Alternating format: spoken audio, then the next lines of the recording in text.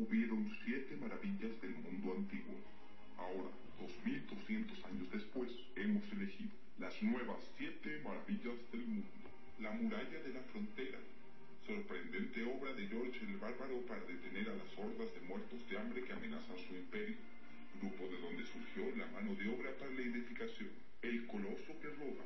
Esta imponente figura ha provocado la incredulidad y el asombro de propios y extraños, desde que hizo su aparición sobre la faz de la economía mundial, pero parece que con las nuevas reformas fiscales, lo más sorprendente aún está por venir.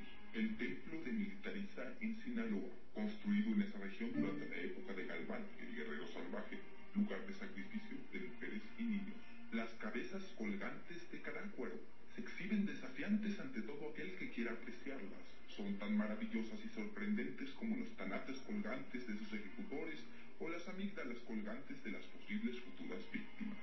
Las cabezas gigantes de la isla de Asco. La isla de Asco, también conocida como la Elba de Asco, presume de poseer las cabezas más grandes, más duras y más huecas del mundo. La Ugaldonte es una de las más llamativas, pero no se quedan atrás la Yunes Yunes y la Campa Campa. La biblioteca flotante, ideada por Vicente el Grandote para estar en tierra firme y llena de libros. Esta enorme estructura terminó flotando llena de catálogos de moda. El mausoleo de Vicentazo, la construcción más notable y extraordinaria de su época, con capacidad para albergar en su interior las grandes maravillas del foxismo. La construcción mide 2 milímetros por uno y medio. Las nuevas siete maravillas del mundo. Millones de votos espurios, siete símbolos del mundo panista. Hola, ¿qué tal? ¿Cómo están? En esta emisión especial de La Verdad sea dicha, presentaremos el documental Botón de Muestra, del veterano realizador independiente Mario Luna. Botón de Muestra está dedicado a la insurgencia ciudadana que emergió tras el fraude electoral de julio de 2006. Mario Luna recoge voces e imágenes que nos hablan de la toma de conciencia de miles de mexicanos y de su esperanza de cambio y de una vida mejor. Se trata, nos dice su autor, de un movimiento que ha rebasado a los partidos políticos y a la clase política tradicional. Es la suma de corazones y pensamientos de un pueblo dispuesto a defender sus derechos. Veamos Botón de Muestra, que lleva como subtítulo De la intolerancia a la esperanza. Es el itinerario emotivo de un movimiento que sigue sacudiendo las conciencias de los mexicanos. De esta manera, abrimos este espacio a los trabajos de artistas y cineastas que con imaginación y talento contribuyen a la lucha democrática en nuestro país.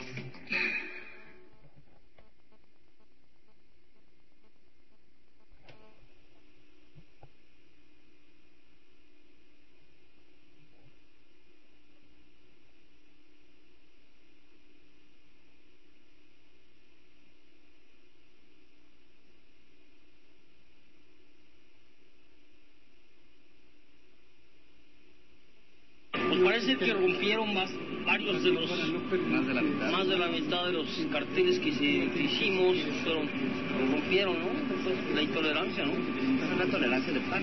exacto Es la gran tolerancia que predica el pan, es la destrucción.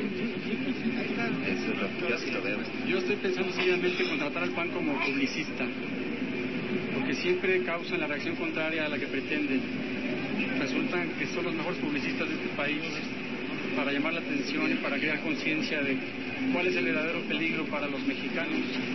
Es un acto de intolerancia porque realmente nosotros no hemos tomado absolutamente, como dijo muy bien Isaac Marshall, ¿no? No pertenecemos a ningún partido ni somos defensores de ningún partido.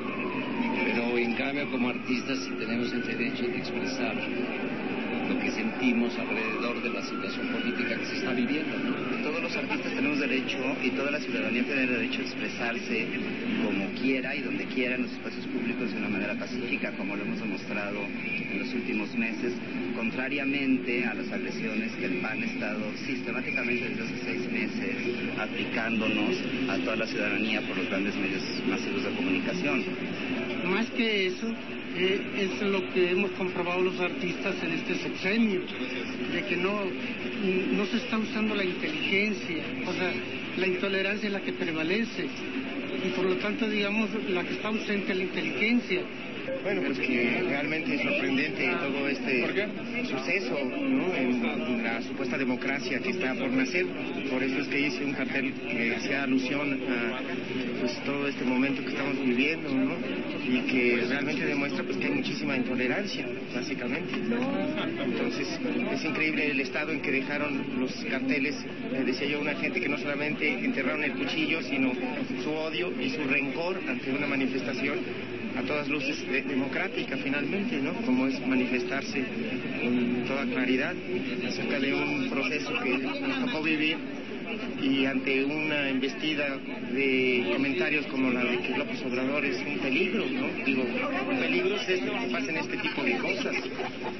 Yo nomás digo que con este acto nos están ayudando a hacer la obra mucho más interesante. Cada uno de nosotros pusimos los muñequitos y ellos ponen las rasgaduras.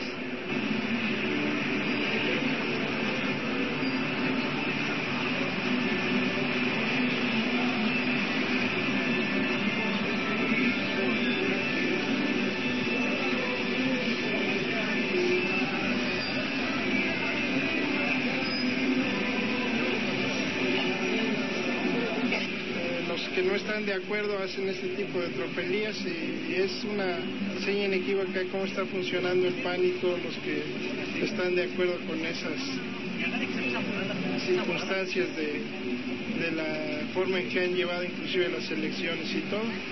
No es más que hay que ver todo lo que han estado haciendo y todo lo que han supuestamente que se han querido defender de algo que es indefendible. Totalmente es, es algo que atenta contra cualquiera ya no nada más por lo que quieran decir los artistas o las personas que están presentando estas opiniones. Es algo realmente eh, triste ver estas circunstancias, terriblemente. Y así está el país precisamente. Pues esto que están haciendo, pues no, para mí que soy de provincia lo veo mal, lo veo mal porque este, allá en mi pueblo no se hace esto. Se respeta el que ganó y hasta ahí nada más. Pero aquí veo que sí, son gentes que les han de pagar para que vengan a hacer esto.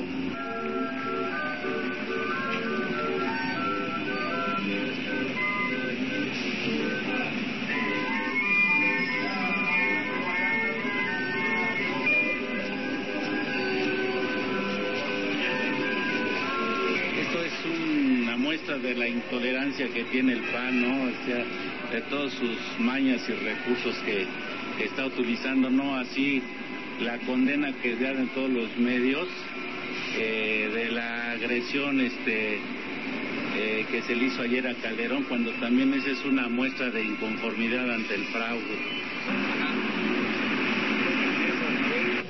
Bueno, estos carteles en esta parte se salvaron, yo creo que por las escaleras o porque no les dio tiempo, porque los que están del hemiciclo hacia Bellas Artes están todos completamente destruidos. Quizá no les dio tiempo pasar la navaja por estos, pero bueno, afortunadamente se salvaron como la mitad de los carteles. Y este es un acto, yo creo que de coraje, de odio, ¿no? Como ha sido la campaña sucia antes de las elecciones y que seguimos viendo que, que sigue, que se sigue expresando y esta es otra manera de agredir a las expresiones de democracia, de libertad y, de, y artísticas.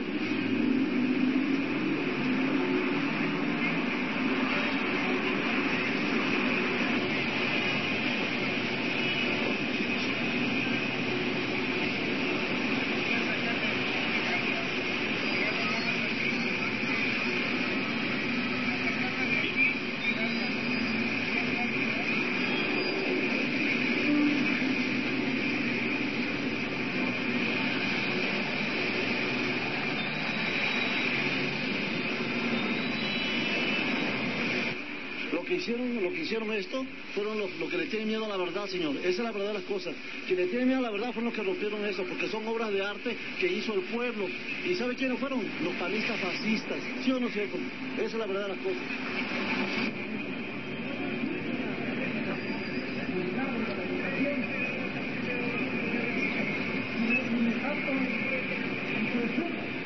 si me permiten dar lectura, ah, yo eh, le digo, dentro de mis medios nada más eh, estudié la primaria, ¿sí? Pero aquí yo escribí esto dice democracia y libertad de expresión. En el mes de junio de 2004, Fox dijo que los verdaderos demócratas deben actuar con transparencia y rendir cuentas claras de su mandato ciudadano. Además de que no deben temer la crítica sino aprender de ella. En ese mismo discurso nos convocó a los ciudadanos a que nos mantengamos en la primera fila de la denuncia, de identificación y señalamiento de aquellos servidores públicos que falten a su deber, que hacen del engaño y mentira, así como del abuso de su forma de vida de ser, dijo eso en, en el 2004. Y hoy, acudiendo a esa convocatoria de ciudadana de denuncia y señalamientos a la que él mismo nos convocó, eso es lo que precisamente viene a denunciar ante la opinión pública. Que la incompetencia, el entreguismo nacional, eh, eh, el terrorismo político y la traición a la democracia y a la patria tiene nombre y apellido, se llama Vicente Fox de Santana, ¿sí? así lo llamo yo. Por eso, a nombre de millones de mexicanos, yo, desempleado y humilde habitante de la ciudad capital, identifico, señalo y denuncio que por incumplimiento de compromisos sociales, por desear privatizar la electricidad, el petróleo y por querer cobrar el IVA en alimentos y medicinas, eh, por velar por intereses político-económicos suyos y de grupos políticos del PRI, PAN, Partido Verde Ecologista y de empresarios nacionales y extranjeros, por sistemáticamente engañarnos a todos los pobres, a campesinos, obreros, estudiantes, humildes padres de familia, a todos los sectores populares del país que esperanzadamente y de buena fe confiamos en el tan repetido y prometido cambio. Por eso y más, el oportunista, mandilón Vicente Fox de Santana debe renunciar, ya que en el 2000, cuando tomó el poder, nos dijo que si no cumplía con sus promesas de campaña y con sus obligaciones y responsabilidades presidenciales, que se lo demandáramos. Y hoy, hoy, hoy, eso es lo que precisamente el pueblo de México le exigimos y le demandamos que por incompetente, por terrorista político y por traición a la democracia a la patria, pronta e inmediatamente renuncie al mando de la presidencia de la República Mexicana. Porque en un verdadero país democrático, el pueblo manda y el presidente debe obedecer. Eso es lo que yo le escribí, ¿sí? Porque estoy harto, al igual que millones de mexicanos. Y mi ignorancia, mis faltas de, de estudios no me da para más, pero eso es lo que precisamente yo le, le escribí que renuncie Vicente Fox de Santana. Por eso yo digo, él nos, nos dignamente, él es un presidente que se debe dar a respetar, y nunca se debe respetar. ¿Cuándo es posible? Un presidente se tiene que haber sido presidente para todos, no para un partido cuando dice, todo aquel que esté en esta boleta va a perder. O sea, desde ahí no se debe respetar. Entonces yo respeto esto y me dio una indignación ahorita que fui a Palacio de Bellas Artes, cómo destruyeron unas obras tan bonitas, aunque sean papeles, aunque sean esos papeles, son unas obras unas obras que no creo que no tienen pensamiento de las personas que hicieron. Como usted dijo, lo, los que hicieron ayer, mira lo que ayer hicieron, estoy de acuerdo, tal vez no lo, lo hicieron mal la gente, pero yo te voy a poner una cosa, hicieron tranquilamente. Hay gente que son fanáticos y radicales que pueden haber hecho las cosas más. Ojalá y no lleguemos. no, ojalá no lleguemos. Pero ¿quién está dando esto?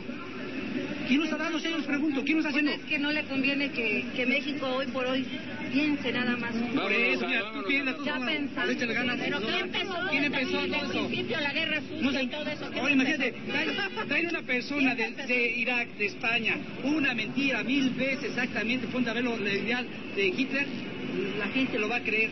Entonces todo lo que hicieron, toda la cochinada, ofendió a muchas personas. Y ahora quieren que el monstruo se calme. No, ya, ya- ya no es posible. o sea, no va a poder. Yo como en la mañana estuve hablando con el señor Gutiérrez, mira, estuve hablando con Gutiérrez Vivo, da tristeza que hay personas que supuestamente se dicen que piensan, que hablan con la verdad al pueblo, son tristes, son títeres, son títeres de la... Tenemos que ver quién está atrás, ¿no? Y México no ha Pero dime una cosa, México no ha visto. pero si tú eres reportera y estás atrás de un micrófono, di la verdad, nada te cuesta. No, por no eso, dicen, es lo por que eso, no dicen, mira, es lo que no dicen. Desgraciadamente los medios de comunicación se prestan a ser manejados y manipulados por el gobierno.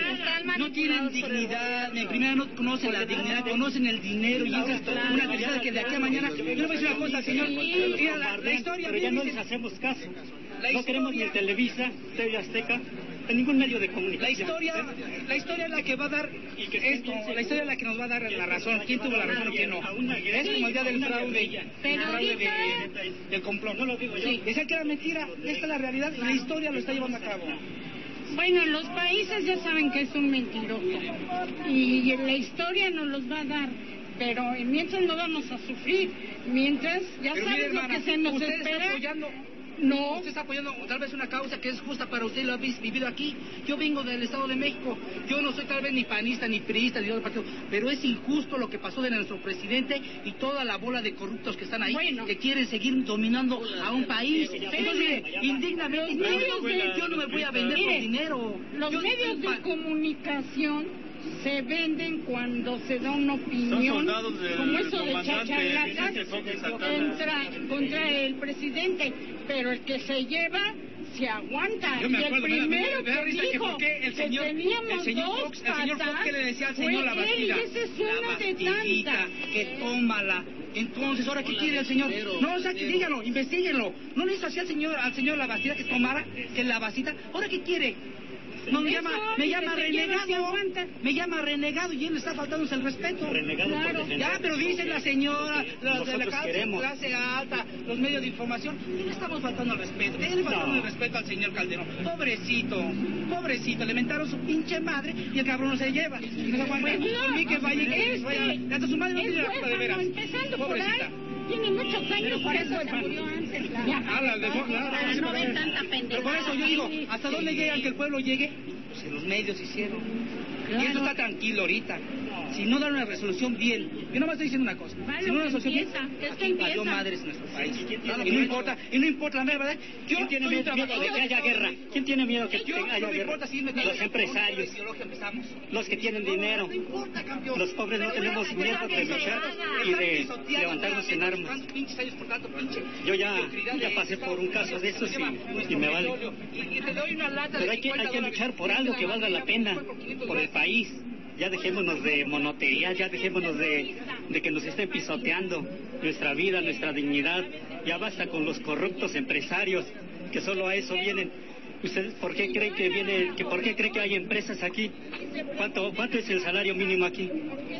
Eso no lo dicen, dicen que hay, que hay empleos, hay de todo, pero no dicen cuánto gana uno. 40, 50 pesos, ¿cuánto vale un cilindro de gas de 20, de 20 kilos? 200 pesos, ¿cuántos días voy a trabajar yo para, gas- para comprar un tanque de gas? Compro el gas y lo demás. Es que ya, ya, ya, ya está, ya nos tienen ahorcados. Cada quien ve sus intereses y su economía. El gobierno que ahorita nos, nos está gobernando está viendo su economía, está viendo ayudar a los empresarios, su, Mira, pero a los son, son empleados. intereses transnacionales, transacciones, o sea, pero empresas cada quien grandes. ve su, su economía. ¿Tú quieres ver tu economía? No, yo veo, no, yo veo mi país, permíteme, pero yo no veo mi, yo no veo mi, a- No, la economía. Yo hay veo que mi luchar sin levantarnos en armas dignidad, ahorita. Muchos no la tienen, muchos han vendido. Hay que levantarnos sin levantar en armas ahorita, dentro de un ratito van a surgir miles de atencos. Así que, O sea, por no eso. vamos a seguir soportando 70 años. No, tenemos que luchar. Tuvimos 70 de PRI. Ahora, ahorita lo vamos a hacer en una manera pacífica, pero el pueblo ya no aguanta y hay miles de atencos en toda la República No es López Obrador, no es López Obrador, no es ni el PRD, somos nosotros, es nuestra dignidad. Nosotros Y si no somos tienen dignidad, si no tienen dignidad, toda esa sí que ya nos tienen hartos de- que están vendiendo el país. No estamos los mueve a ustedes. ¿Eh? Sí. Dinero, sí. Mire, a mí yo, 70 años y trabajo, ¿eh? Todos trabajamos. No, pero mal, trabajan mal por dinero. Si todos trabajamos por dinero. Señora, ¿Eh? estamos, estamos pacíficamente, estamos Puras pacíficamente. mentiras, dicen. Puras mentiras. Eh, eh, Ay, tú no eres. No. Ay, O sea, vean situación señora. Hay personas que en verdad están bien, bien, este, bien radicadas y bien fanáticas y a veces puede pasar algo más allá. Pero la culpa no la tienen, o sea, el pueblo, la tiene toda la bola de corruptos que han manipulado al país. Empezando por el presidente. Y el presidente quiere respeto, Empezando apenas por que se largó a Europa, apenas nos ofendió. por televisión, nada más. Y a nuestros hijos les damos educación televisiva. Exactamente. Exactamente. Y, y es eso. Los guaruras a un y que ande como López Obrador a pie y como andamos nosotros en las marchas porque venimos a defender algo y ellos no en su carrito aquí muy Bájense del carro y vengan como nosotros. Ah, ¿verdad que no? Exactamente. Es procesada y solo va a salir lo que el patrón quiere. Fíjate cómo te lo manifiesta ya perfectamente bien. Entonces ya basta.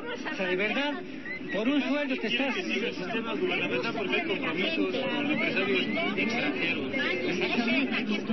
Ese Calderón a fuerzas quiere, quiere ser presidente. Eso no lo ven. Él dijo, acomodé el lugar, yo voy a ser presidente cuando tenga muy eh, claro. Televisa y TV Azteca y todos los medios. ¿eh? Que por ahí deben de empezar. Fue una amenaza para nosotros que quiere quitar a López Obrador. Yo digo que es obra del gobierno con los panistas. Entonces, que tiene miedo de que cuenten los votos.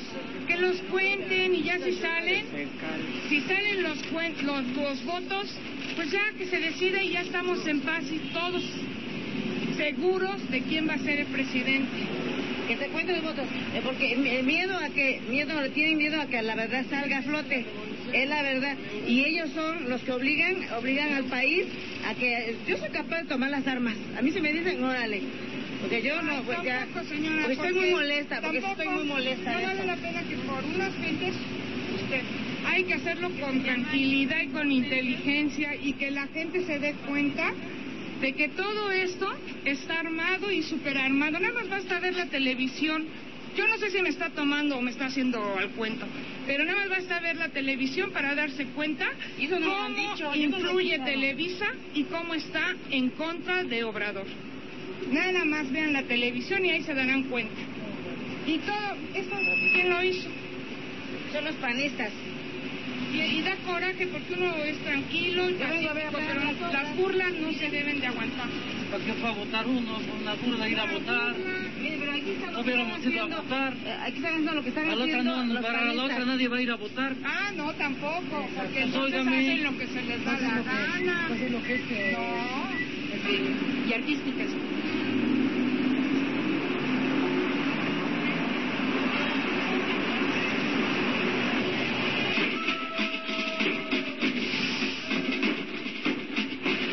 El empresario chino-mexicano Shen Li Yegon, dueño de los 205 millones de dólares decomisados por la Policía Federal hace unos meses en una residencia de las lomas de Chapultepec, declaró a la agencia Associated Press que parte del dinero era del Partido Acción Nacional para su campaña electoral y que le fue entregado mediante amenazas de panistas connotados como el secretario del Trabajo, Javier Lozano.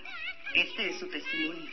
Primera palabra dice que tú es muy famoso, tú es eh, muy famoso en eh, industria farmacéutica, tú es eh, muy eh, activo en político. Eh, necesita, ahora tú eres mexicano, necesita tu servicio eh, país de México, necesita apoyo partido de PAN, ok.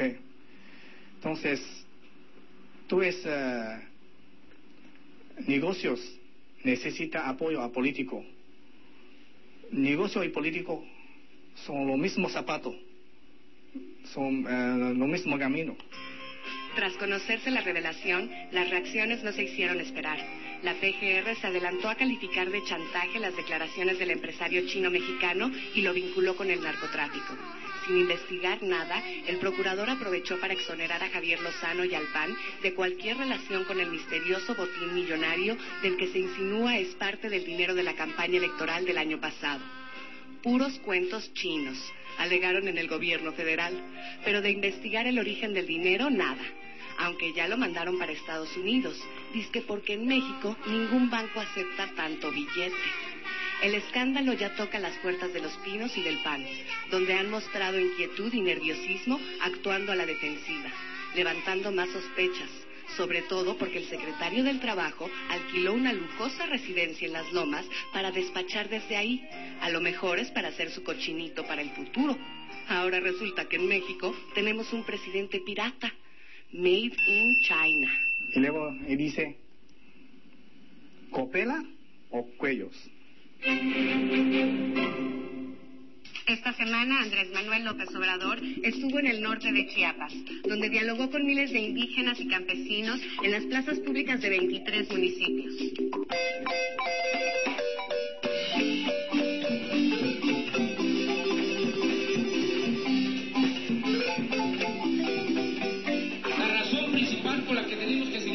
Es que en México hay mucha pobreza y mucha marginación. No podemos aceptar que en México esté viviendo el hombre más rico del mundo y al mismo tiempo haya 50 millones de mexicanos que viven en la pobreza extrema. Por eso tenemos que seguir adelante hasta que haya justicia en nuestro país.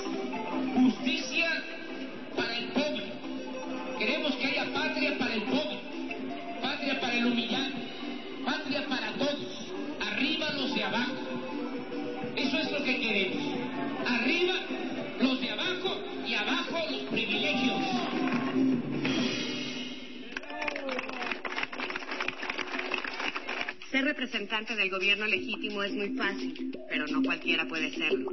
Solo los mexicanos comprometidos con la defensa de los intereses del pueblo y con la protección del patrimonio nacional. Si ya tienes tu credencial, puedes invitar a cinco familiares, vecinos, amigos, compañeros de trabajo o de estudio para que se inscriban como representantes. Cada día somos más. Consulta la página del Gobierno Legítimo de México para ubicar el módulo más cercano a tu domicilio. Recuerda que ya tenemos un nuevo número de cuenta para que nos apoyes. El número es 05 44 55 50 80 de Banorte. A nombre de Honestidad Valiente, ACE. Esperamos tu generosa cooperación en este esfuerzo colectivo que hacemos por el futuro de nuestra patria.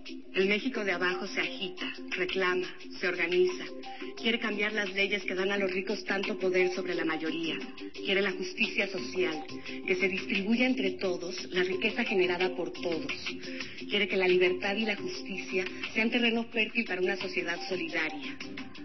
Ese México de abajo, que lucha por todos y para todos, busca la instauración de un gobierno del pueblo y de una república digna y democrática.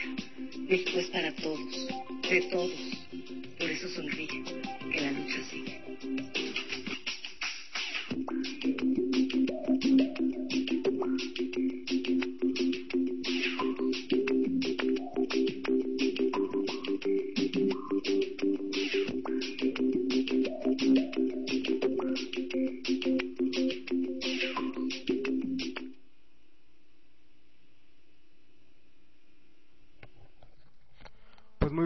En este momento termina